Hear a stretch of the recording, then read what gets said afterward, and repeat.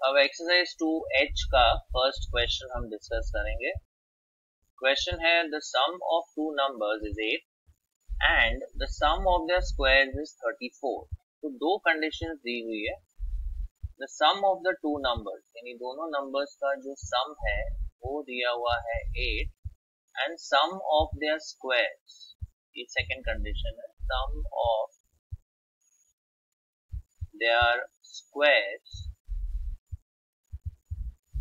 a value है 34 taking one number as x, form an equation in x and hence find the number. अब यहाँ options दिए हुए तो हम इसे ऑप्शन मेथड से सॉल्व कर सकते हैं।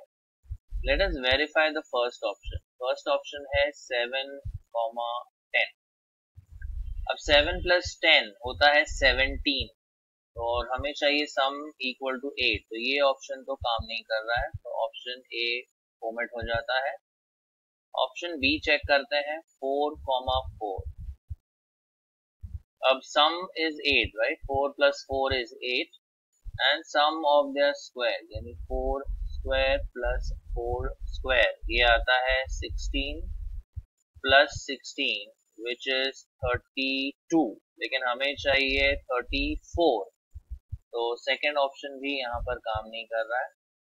Let's check option C option C है three five so let's check with three five three comma five sum यानी फाइव प्लस थ्री टोटल आता है eight sum of the square यानी three square plus five square तो ये आ जाता है नाइन प्लस ट्वेंटी फाइव तो दिस टोटल इज़ थर्टी तो ये सारे कंडीशन सेटिस्फाई कर रहा है.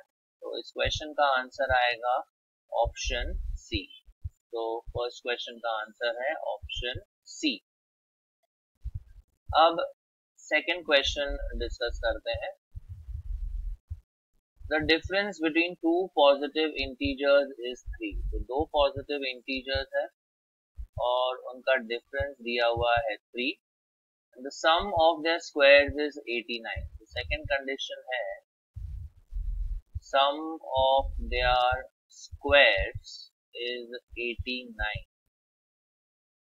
total है 89 taking smaller integer as x form a quadratic equation solve it to find the integers so the integers are अब अगेन हम ऑप्शन मेथड से ही जाते हैं तो पहला है सेवन एंड फोर अब इनका डिफरेंस है three is correct sum of the square यानी seven square plus four square. तो ये आ जाता है फोर्टी नाइन प्लस सिक्सटीन। ये अगर हम ऐड करते हैं तो सिक्सटी फाइव आता है। हमें चाहिए एटी नाइन। तो ऑप्शन ए यहाँ पर काम नहीं कर रहा है। Let's check with option B अभी ऑप्शन बी है five eight let's check with option B. We have 5 and 8. इनका डिफरेंस 3 है। Yes. Sum of the square यानी 5 स्क्वायर प्लस 8 स्क्वायर ये आ जाता है 25 एंड 8 स्क्वायर है 64 तो ये टोटल आ जाता है 89 and yes we need a total of 89 तो ऑप्शन बी गिवन कंडीशन को सेटिस्फाई कर रहा है. The answer to this question is option B now let us discuss question number three question three discuss करते हैं.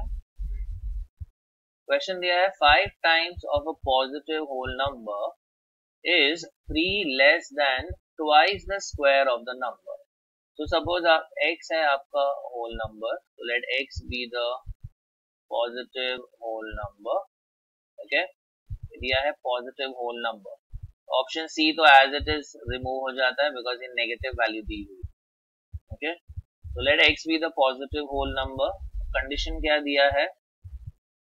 Five times the positive whole number मतलब five times x is यानी equal to three less three less यानी subtract three लेकिन किसमें से three less three less than twice the square of the number मतलब twice the two times the square of the number मतलब x square तो ये हमारा इक्वेशन बनता है। Five x is equal to two x square minus three अब option से verify कर देते हैं। पहला ऑप्शन दिया है three let us check the left hand side ये आएगा फाइव इंटू थ्री तो लेफ़्ट हैंड साइड आ जाता है fifteen let us check the right hand side अब राइट हैंड साइड में थ्री सब्सटीट्यूट करके देखते हैं। तो ये आ जाएगा two times three square minus three this is nine into two ये हो जाता है एटीन माइनस थ्री तो ये वेरीफाई हो जाता है। Right hand side is also fifteen इस क्वेश्चन का आंसर आएगा ऑप्शन ए अब नेक्स्ट क्वेश्चन डिस्कस करते हैं। क्वेश्चन नंबर फोर तो यहाँ पर क्या दिया है, देखते हैं। क्वेश्चन फोर में है the area of a rectangular field is 2000 square metre तो एरिया दिया है 2000 स्क्वायर मीटर एंड पेरीमीटर दिया है 180 तो ये रहा आपका रेक्टेंगुलर फ़ील्ड राइट ये सपोज़ इसका लेंथ है और ये इसका ब्रेथ है।